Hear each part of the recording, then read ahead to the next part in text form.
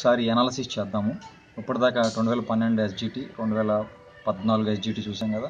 అసిస్టెంట్లు కూడా చూద్దాము. అయితే అసిస్టెంట్లు చూడడానికి డాటా అన్ని జిల్లాలు డాటా చూసి చెప్పడం అనేది కొంచెం కష్టతరమైన పని కాబట్టి ఈస్ట్ గోదావరి అన్ని సబ్జెక్టుల డాటా అనాలిసిస్ చేశాను. ఈస్ట్ గోదావరి చేసి ఎందుకు చేసగలిగాను అంటే మిగతా జిల్లాలన్నింటిని చూస్తే శ్రీకాకుళము ఈస్ట్ గోదావరి ఇవి టాప్కి దగ్గరలోనూ ఉన్నాయి. అనాలసిస్ని బట్టి కొంచెం అటు ఇటులో అన్ని చోట్ల ఇదే ఉంటుంది. కాబట్టి ఈస్ట్ గోదావరిని అనాలసిస్ చేసి అది ఒక రెండు మూడు పర్సెంట్ అటు ఇటులు అన్ని జిల్లాలకి మనం అప్లై చేసుకోవచ్చు. సో దాని గురించి ఈస్ట్ గోదావరిని అనాలసిస్ చేశాను నేను. ఓకే? ఓకే. ఈస్ట్ గోదావరి రెండు వేల పన్నెండు రెండు వేల పద్నాలుగు ఎస్ఏ మెరిట్లు చూస్తే రెండు వేల పన్నెండులో తెలుగు ఎయిటీ పర్సెంట్లో ఉంది. రెండు వేల పద్నాలుగులో సెవెంటీ ఫోర్ పర్సెంట్లో ఉంది. ఈ అంతరానికి ప్రాబ్లం ఏంటంటే సిలబస్ తెలుసు. రెండు వేల పద్నాలుగు సిలబస్ అనేది వ్యాస్ట్ కొన్ని సబ్జెక్టులోనూ కాదు కొన్ని సబ్జెక్టులో అలాంటి అంతరం కనిపిస్తుంది.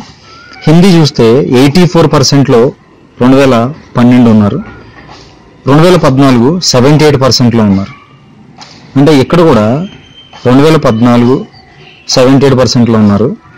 అంటే ఇక్కడ చాలా ఎక్కువ మార్క్స్ వచ్చాయి. వన్ ఫిఫ్టీ సిక్స్ ఎక్కువ మార్క్స్ ఎక్కువ మార్క్స్ వచ్చాయి. అయినప్పటికీ పర్సెంటేజ్ సెవెంటీ ఎయిట్ ఎందుకు చూపిస్తుంది అంటే వ్యాస్ట్ సిలబస్ ఇంగ్లీష్ విషయానికి కూడా చూస్తే రెండు వేల పన్నెండులో seventy four seventy seven sorry రెండు వేల పద్నాలుగులో సెవెంటీ సిక్స్ అంటే ఆల్మోస్ట్ ఇక్కడ ఈక్వల్గానే ఉంది. మ్యాథ్స్కి వస్తే రెండు వేల పన్నెండు ఎయిటీ రెండు వేల పద్నాలుగు సెవెంటీ సెవెన్ బయాలజీ చూస్తే seventy seven nine point nine three అంటే ఆల్మోస్ట్ సెవెంటీ ఎయిట్ ఇక్కడ సెవెంటీ ఫోర్ చూపిస్తుంది రెండు వేల పద్నాలుగులో. Physics seventy nine marks seventy nine percent and marks కూడా అంతే ఎందుకంటే ఎయిటీకి కదా. సో ఇక్కడ టూ థౌజండ్ ఫోర్టీన్లో సెవెంటీ ఫోర్ పర్సెంట్తో ఫిజిక్స్ జాబ్ వచ్చింది. రెండు వేల పన్నెండులో ఎయిటీ ఫోర్లో ఉన్నారు టాప్ వాళ్ళు. రెండు వేల పద్నాలుగులో సెవెంటీ సిక్స్లో ఉన్నారు. ఇప్పుడు రెండు వేల పద్నాలుగు ఈ లైన్ మొత్తం గమనిస్తే చూడండి seventy four seventy four seventy four seventy six seventy six seventy four అంటే ఆల్మోస్ట్ ఎంత మనం చేస్తే seventy six average percent seventy six average పర్సెంట్లో రెండు వేల పద్నాలుగులో అందరూ టాప్ వన్గా ఉన్నారు. అదే రెండు వేల పన్నెండు చూస్తే eighty eighty almost seventy seven eighty seventy seven eighty seventy nine eighty eighty. అంటే ఆల్మోస్ట్ ఎయిటీ పర్సెంట్ ఆల్మోస్ట్ ఎంత? ఎయిటీ పర్సెంట్ రెండు వేల పన్నెండులో ఎయిటీ పర్సెంట్ టాప్ వన్గా ఉన్నారు. రెండింటికి ఆల్మోస్ట్ పర్సంటేజ్ ఇక్కడ సిలబస్ పెరిగినప్పటికీ రెండు వేల పద్నాలుగులో సిలబస్ పెరిగినప్పటికీ ఆల్మోస్ట్ ఎయిటీ పర్సెంట్ దగ్గర దగ్గర మెయింటైన్ చేశారు. సెవెంటీకి ఎయిటీకి ఫోర్ మార్క్స్ తేడా. తెలిసిందే ఈ ఫోర్ మార్క్స్ పెద్ద అంతరం ఏమీ కాదు. అయితే మార్క్స్ పెరిగిపోతున్నప్పుడు అవి టాప్ రేంజ్లోకి వెళ్ళిపోతున్నప్పుడు ప్రతి ఒక్క మార్కు సంపాదించడానికి చాలా కష్టపడాలి. అయినప్పటికీ మనం ఓవరాల్గా చూసుకుంటే రెండు వేల పద్నాలుగుని ఎయిటీ పర్సెంట్ అనుకున్నాము. రెండు వేల పన్నెండుని ఎయిటీ పర్సెంట్ అనుకున్నాం అసిస్టెంట్లకి ఈ లెక్కను చూస్తే ఇప్పుడు అగైన్ అసిస్టెంట్స్ కూడా ఎయిటీ మార్క్స్కే రాయాలి.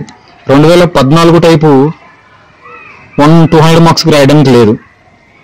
కాబట్టి ఇప్పుడు రెండు వేల పన్నెండుని మనం మాదిరిగా తీసుకున్నట్లయితే ఎయిటీ పర్సెంట్ మార్క్స్ మనం దిశగా ప్రయత్నించాలి. అంటే జీకేలో ఎయిటీ పర్సెంట్ క్లాస్ రూమ్ సైకాలజీలో ఎయిటీ పర్సెంట్ అలాగే కంటెంట్లో ఎయిటీ పర్సెంట్ పర్స్పెక్టివ్ ఎడ్యుకేషన్లో ఎయిటీ పర్సెంట్ ఇలా ప్రతి విభాగం నుంచి ఎయిటీ ఎయిటీ పర్సెంట్ మార్క్స్ వచ్చగలిగితే టోటల్ పర్సెంటేజ్ మనకి ఎయిటీ వస్తుంది. కాబట్టి అప్పుడు ఎయిటీలో ఉన్నామంటే మనం టాప్లో ఉంటాం. అయితే ఇది నేను చెప్పిన బార్డర్ మాత్రమే. దీంట్లో ఇంకో విషయం చెప్పాలనుకుంటున్నాను. రెండు వేల పద్నాలుగులో కొన్ని తాచుపాములు ఉంటాయి. కొన్ని తాచుపాములు ఏంటంటే సరదాగా అంటున్నాను. ఫర్ ఎగ్జాంపుల్ రెండు వేల పన్నెండు ఏసీలో టాప్ టెన్ ర్యాంక్స్తో పోస్టులు అయిపోయాయి అనుకుందాం. అంటే పది పోస్టులు ఉన్నాయనుకుందాం పది పోస్టులు ఉన్నాయనుకుందాం పది పోస్టులో టెన్త్ ర్యాంకర్తో పోస్ట్ అయిపోయింది. మరి పాపం టెన్త్ ర్యాంక్ వరకు వచ్చిన లెవెన్త్ ర్యాంకర్ ఏమవుతాడు? అతనికి జాబ్ రాలేదు. ఇప్పుడు అతను ఏంటది? అతను తోక తొక్కని తాచుపాములు అంటాడు అతని పరిస్థితి ఏంటంటే ఇప్పుడు నెక్స్ట్ డిఎస్సి ఎప్పుడని కాసు కూర్చుంటాడు. అంటే వీళ్ళందరికంటే ఇప్పుడు తెలివైన మెరిట్లో వచ్చిన వాళ్ళందరూ వెళ్ళిపోయారు. నెక్స్ట్ మెరిట్లో ఎవరు ఉన్నారు ఆ పోస్ట్ ఆఖరణ ఎవరి దగ్గర ఆగిపోయిందో ఆయన రెడీగా ఉన్నాడు. ఇప్పుడు దీంతో పాటు ఇలాగా ఈయనతో పోస్ట్ ఎక్కడికి వచ్చిందో అక్కడి నుంచి ఆగిపోయిన వాళ్ళు అందరూ కూడా నెక్స్ట్ డిఎస్సిలో చాలా ఖచ్చితంగా ప్రిపేర్ అవుతూ ఉంటారు. ఎందుకంటే నెక్స్ట్ మొదట వాళ్ళే ఉండాలి అని. అది కామన్గా మనం గ్రహించవచ్చు అలాగే కొత్తగా ఫ్రెష్గా బీఎడ్ డిఎడ్ అయ్యి వచ్చిన పిల్లల్లో షార్ప్గా ఉంటారు కొంతమంది. వాళ్ళు పోటీదారులు అవుతారు. సో వీళ్ళిద్దరు పోటీల్ని అంచనా వేసుకోగలిగితే ఫ్రెషర్స్ని అలాగే ఆల్రెడీ దగ్గరికి వచ్చి జాబు వాళ్ళ ముందు కట్ ఆఫ్ వచ్చి ఆగిపోయి జాబ్ రాని వాళ్ళని వీళ్ళిద్దరిని అంచనా వేసుకొని మీ ప్రిపరేషన్ మరింత పదును పెట్టగలిగితే వాళ్ళతో పాటు ఒకరుగా ఉంటారు మీరు ఖచ్చితంగా జాబ్ సంపాదిస్తారు.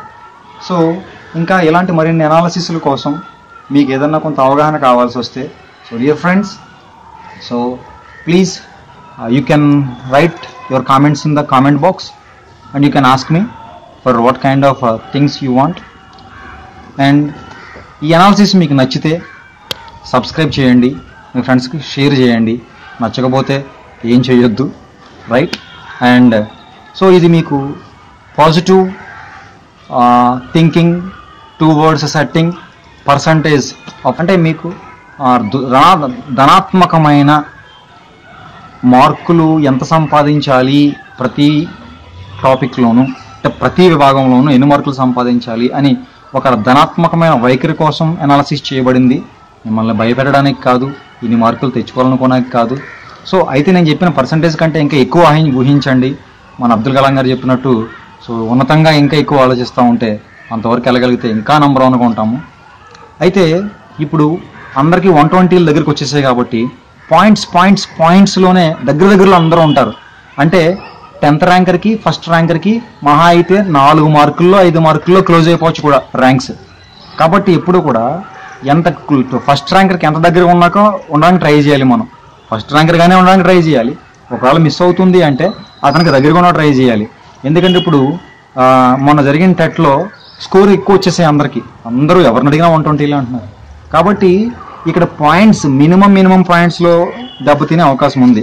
ఫర్ ఎగ్జాంపుల్ ఇక్కడ నా దగ్గర ఉన్న ఒక పేపర్లో హిందీ ఒక అనాలసిస్ చూశాను. అది చూసినప్పుడు అయ్యో పాపం అనిపించింది. దాంట్లో గమనిస్తే తెలుగులో ఈస్ట్ గోదావరిలో రెండు వేల పన్నెండులో eighty point eight seven first rank eighty point four three second rank. ఎంత అంటే తేడా అసలు? వన్ మార్క్ అయినా ఉందా? కనీసం eight point eight seven point four three అంటే పాయింట్ ఫోర్ జీరో తేడా. లేదా పాయింట్ ఫోర్ ఫోర్ తేడా. ఈ పాయింట్ ఫోర్ ఫోర్ తేడాలో ఒక అతను ఫస్ట్ ర్యాంకర్ అయ్యాడు ఇంకొక అతను సెకండ్ ర్యాంకర్ అయ్యారు ఇప్పుడు కూడా ఫ్రెండ్స్ ఇప్పుడు కూడా అదే జరగబోతుంది. ఎందుకు అదే జరగబోతుంది అంటే ఇప్పుడు కూడా అందరికీ మార్క్స్ ఎక్కువ వచ్చాయి. అందరూ కూడా జీరో పాయింట్ వన్ మార్క్ అండి. వన్ మార్క్ని మనం పాయింట్స్ చేయగలిగితే ఎన్ని పాయింట్స్ అవుతాయి? అవుతాయి. లేదా? ఆ పాయింట్స్లోనే మనం zero point one zero point two zero point three వాటిల్లోనే మనం మార్క్స్ కోల్పోవాల్సిన అవసరం ఉంటుంది. కాబట్టి ఆ సిచ్యువేషన్ రాకుండా ఆ పాయింట్స్లో రాకుండా ఉండాలంటే ఇంకా ఉన్నతంగా ఆలోచించాలి ఎక్కువ మార్క్స్ సంపాదించడానికి ప్రయత్నించాలి. సో కాబట్టి ఎవరైతే జాబ్ వచ్చారో రాగిపోయారో వాళ్ళు కొత్త కొన్న పిల్లలతో పోటీ పడడానికి ట్రై చేయండి. ఓకే ఫ్రెండ్స్ సో హోప్ ఈ వీడియో మీకు ఉపయోగపడిందని మీ గోల్స్కి ఆలోచనలకి ఎన్ని మార్క్స్ తెచ్చుకోవాలా జాబ్ రావాలంటే అని ఆలోచించే వాళ్ళకి ఇది ఒక ఆసరాగా ఉంటుందని ఆశిస్తున్నాను. సో ఒకవేళ మీరు విలువైన సమయాన్ని మీ విలువైన సమయాన్ని కనుక నేను వృధా చేసినట్లయితే ఈ వీడియో ద్వారా మీరు ఆల్రెడీ కాంపిటీషన్ ప్రిపరేషన్ ఉన్నారు కాబట్టి so I'm very sorry and wish you all the good luck for every aspirant so thank you and good luck